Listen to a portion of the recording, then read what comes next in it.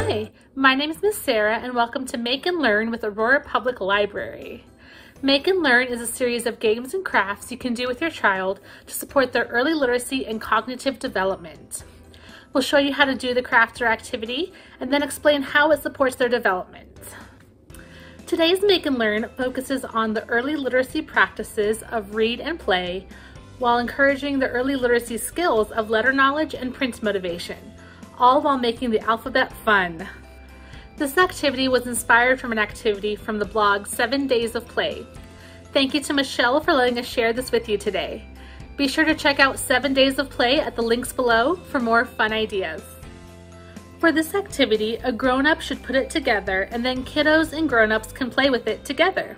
Setup is easy and it includes items you probably already have at home. You'll need a cardboard box, plastic spoons, permanent markers, and an X-Acto knife or scissors.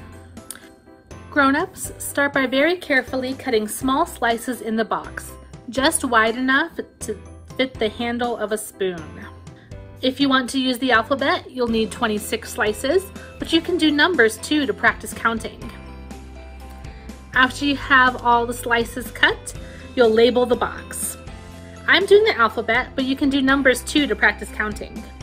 You can use uppercase or lowercase, whichever you would like your child to practice. When you're labeling, write the letters or numbers under each slice.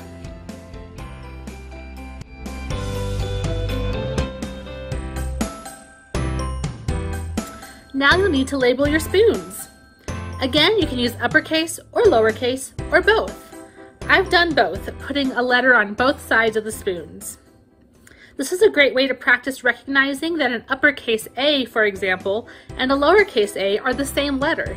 They just look a little different.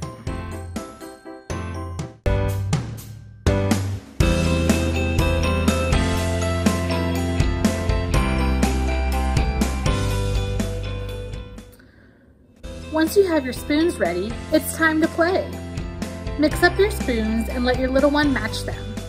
They can match the letters on the spoons to those on the box, or for older kids, let them practice making words. Ignore the letters on the box and let them spell out words or their name.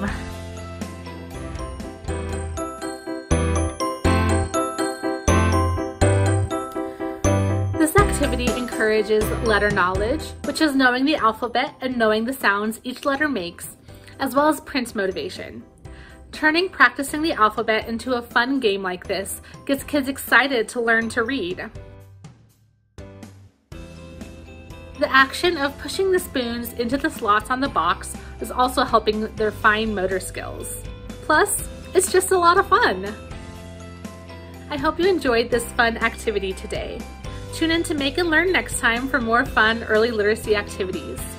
In the meantime, visit our Pinterest page pinterest.com slash Aurora Public for more early literacy tips and activities.